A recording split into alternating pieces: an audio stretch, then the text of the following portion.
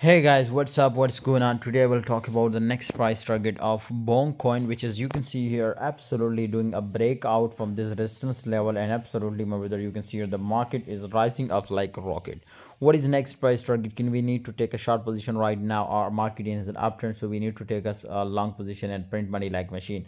I strongly recommend you to join my telegram group. My telegram group i provide you 10 to 15 signals okay? And if you lose in one signal also leave the group and don't follow my signal. But one time must try okay? Remember this right now absolutely it was the most highest position. If we look out maybe there's the all-time highest position. So you can see here it was again going to double top. Okay this is absolutely the most highest positions. And right now i think little bit pump was more increased possibilities. Okay that's why I wait for my call on telegram. Okay and right now i it was it was not take a time um, to take action whether on short side. Definitely it was really really risky because it was not reach out to the most highest position and i am 100 percent sure it will be easily reach out to this position. So before it will reach out to this position i strongly recommend you to take action uh, but in another coin which is my brother i post on telegram. Okay? See you next time guys